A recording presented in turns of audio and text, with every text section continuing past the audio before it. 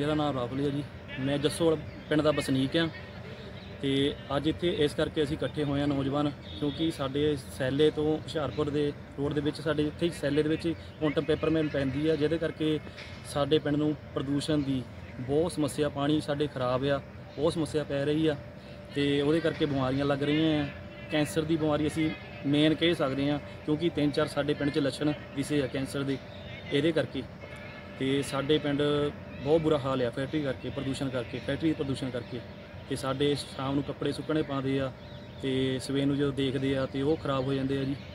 ਪਿੰਡ ਦਾ ਸਾਰਾ ਪਾਣੀ ਖਰਾਬ ਆ ਜੀ ਤੇ ਸਾਡੇ ਕਿਉਂਕਿ ਬਾਬਾ ਹਸਨ ਦਾਸ ਕੋਲ ਕੋਲ ਹੀ ਹੈ ਸਾਡੇ ਟੈਂਕੀ ਉੱਥੋਂ ਹੀ ਪਾਣੀ ਸਾਨੂੰ ਆਉਂਦਾ, ਉਹ ਉਹੀ ਮਾੜਾ ਮੋਟਾ ਜੋ ਵੀ ਅਸੀਂ ਯੂਜ਼ ਕਰਦੇ ਆ, ਉਹੀ ਠੀਕ ਆ, ਕਿਉਂਕਿ ਇੱਧਰ ਵਾਲਾ ਤਾਂ ਸਾਡਾ ਬਿਲਕੁਲ ਹੀ ਖਰਾਬ ਆ ਪਿੰਡਾਂ ਦਾ।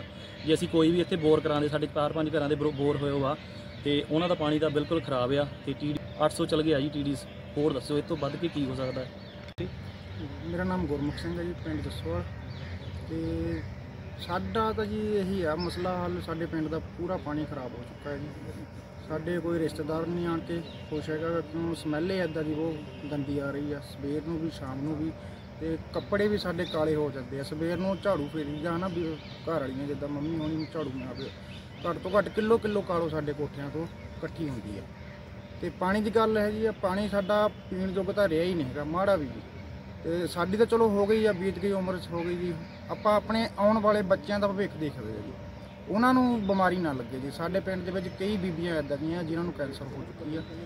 ਕਈ ਬੱਚੇ ਇਦਾਂ ਦੀ ਜਿਨ੍ਹਾਂ ਨੂੰ ਆ ਫੈਕਟਰੀ ਦੇ ਪਾਣੀ ਤੋਂ ਬਿਮਾਰੀ ਲੱਗ ਚੁੱਕੀ ਹੈ ਜੀ। ਤੇ ਆ ਸਾਡੇ ਨਾਲ ਦੇ ਲੈਣ ਦੇ ਨਾਲ ਫੈਕਟਰੀ ਦੇ ਨਾਲ ਵਿਚਾਰੇ ਪ੍ਰਵਾਸੀ ਰਹਿੰਦੇ ਆ। ਇੱਥੇ ਉਹਨੇ ਆਪਣੀ ਜਗ੍ਹਾ ਲਈ ਉਹ ਆ। ਉਹਨਾਂ ਦੇ ਕੋਲ ਤਾਂ ਇਦਾਂ ਦਾ ਪਾਣੀ ਇਹ ਫੈਕਟਰੀ ਵਾਲੇ ਦਿੰਦੇ ਆ, ਹਫਤਾ ਹਫਤਾ ਰੋਕ ਵੀ ਲੈਂਦੇ, ਜਾਂ ਕੋਈ ਗਰੀਬ ਇਹਨਾਂ ਬਾਰੇ ਬੋਲਦਾ ਹਨਾ, ਇਹਨਾਂ ਨੂੰ ਪਾਣੀ ਫੈਕਟਰੀ ਵੱਲੋਂ ਦੋ, ਉਹ ਹਫਤਾ ਹਫਤਾ ਟੈਂਕਰ ਉਹਨਾਂ ਦਾ ਬੰਦ ਕਰ ਦਿੰਦੇ ਆ ਜੀ। ਉਹੀ ਕਦੀ ਕਿਤੇ, ਉਹ ਬਾਲਟੀ ਲਿਆਂਦੇ ਪਾਣੀ ਪੀਣ ਨੂੰ, ਕਦੀ ਕਿਤੇ, ਉਹ ਜੀ। ਇਹ ਜੋ ਜਿਹੜਾ ਵੀ ਇਹਦੇ ਖਿਲਾਫ ਬੋਲਦਾ ਨਾ ਫੈਕਟਰੀ ਦੇ ਖਿਲਾਫ, ਉਹਨੂੰ ਦੱਬਣ ਦੀ ਕੋਸ਼ਿਸ਼ ਕੀਤੀ ਜਾਂਦੀ ਹੈ ਕੁਮਾਰ ਜੀ, ਮੈਂ ਵੀ ਪਿੰਡ ਜਸਵਾਲ ਦਾ ਵਾਸੀ ਹਾਂ ਜੀ। ਜਿਹੜਾ ਪਾਣੀ ਦਾ ਹੈ ਜੀ, ਪਾਣੀ ਦਾ ਸਭ ਤੋਂ ਵੱਡਾ ਮੁੱਦਾ ਹੈ ਜੀ, ਉਹਦੇ ਵਿੱਚ ਜਿਹੜਾ ਪਾਣੀ ਦਾ ਟੀਡੀਐਸ ਆ ਜੀ, ਉਹ ਸਾਡੇ 800 ਟੀਡੀਐਸ ਆ ਜੀ। ਜਿਹੜਾ ਕਿ ਉਹ ਨਾ ਪੀਣ ਦੇ ਮੁਤਾਬਕ ਹੈ। ਜੇ ਉਹਨੂੰ ਅਸੀਂ ਪੀਣਾ ਚਾਹੀਏ ਤਾਂ ਉਹ 5-6 ਵਾਰੀ ਉਹਨੂੰ ਫਿਲਟਰ ਕਰਾਂਗੇ ਤਾਂ ਪੀਣ ਯੋਗ ਹੈ ਜੀ। ਤੇ ਹੋਰ ਇੱਥੇ ਪੇਪਰ ਮਿਲ ਦੀ ਇੱਕ ਐਦਾਂ ਦੀ ਇਹ ਗੈਸ ਛੱਡਦੇ ਆ, ਬਦਬੂ ਛੱਡਦੇ ਆ ਜੀ, ਜਿੱਥੇ ਸਾਹ ਲੈਣਾ ਵੀ ਔਖਾ ਹੋ ਜਾਂਦਾ। ਉਹ ਬਦਬੂ ਦੇ ਨਾਲ ਸਾਡੇ ਸਰੀਰ ਤੇ ਪਿੰਡ ਦੇ ਵਿੱਚ ਇੰਨੀਆਂ ਭਿਆਨਕ ਬਿਮਾਰੀਆਂ ਨਾਲ ਬੰਦੇ ਮਰੇ ਆ, ਉਹ ਵਿਚਾਰੇ ਆਵਾਜ਼ ਨਹੀਂ ਚੱਕਦੇ, ਕਿਉਂਕਿ ਡਰਦੇ ਆ ਜੀ।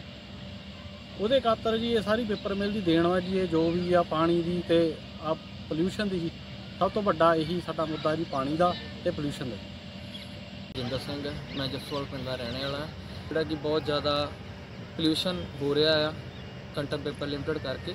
ਇਹਦੇ ਨਾਲ ਬਹੁਤ ਜ਼ਿਆਦਾ ਬਿਮਾਰੀਆਂ ਦਾ ਸਾਹਮਣਾ ਕਰਨਾ ਪੈ ਰਿਹਾ ਸਾਡੇ ਪਿੰਡ ਵਾਲਿਆਂ ਨੂੰ। ਜਿਹੜੀ ਮੇਨ ਪ੍ਰੋਬਲਮ ਆ ਰਹੀ ਆ ਕੈਂਸਰ ਦੀ, ਉਹਦੇ ਬਹੁਤ ਜ਼ਿਆਦਾ ਲੱਛਣ ਦੇਖਣ ਨੂੰ ਮਿਲ ਰਹੇ ਆ ਸਾਡੇ ਪਿੰਡ ਦੇ ਵਿੱਚ। ਤੇ ਸੋ ਖਿਲਾਫ ਕੋਈ ਬੋਲਦਾ ਹੈ ਤਾਂ ਇਹ ਉਹਨਾਂ ਦਾ ਪਾਣੀ ਬੰਦ ਕਰ ਦਿੰਦੇ ਨੇ। ਜਾਂ ਫਿਰ ਪੋਲੀਟੀਕਲ ਪਾਵਰ ਦੇ ਨਾਲ ਇਹ ਉਹਨਾਂ ਨੂੰ ਦਬਾਉਣ ਦੀ ਕੋਸ਼ਿਸ਼ ਕੀਤੀ ਜਾਂਦੀ ਹੈ।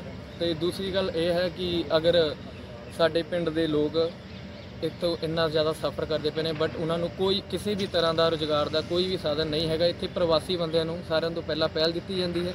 ਬਟ ਅਗਰ ਦੇਖਿਆ ਜਾਵੇ ਕਿ ਸਾਡੇ ਪਿੰਡ ਨੂੰ ਪਹਿਲ ਹੋਣੀ ਚਾਹੀਦੀ ਹੈ ਬਟ ਇਸ ਤਰ੍ਹਾਂ ਦਾ ਕੋਈ ਵੀ ਇਹਨਾਂ ਕੋਈ ਵੀ ਸਾਨੂੰ ਫੈਸਿਲਿਟੀ ਨਹੀਂ ਦਿੱਤੀ ਜਾ ਰਹੀ।